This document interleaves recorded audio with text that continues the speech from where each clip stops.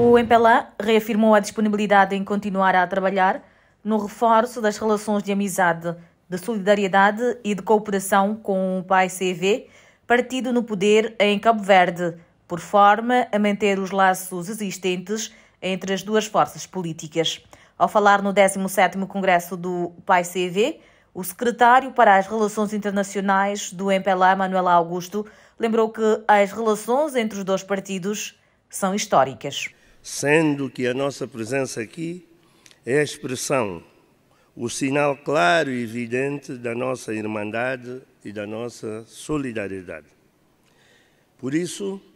transmitimos por esta via os nossos agradecimentos pelo honroso convite que nos foi formulado para participarmos do 17º Congresso do PICV, um partido forte e vitorioso que luta incessantemente por um Cabo Verde unido,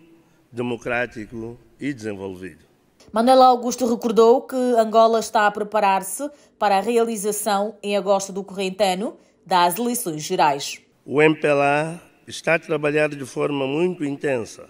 para vencer as eleições de forma expressiva e assim poder continuar a implementar o seu programa de governação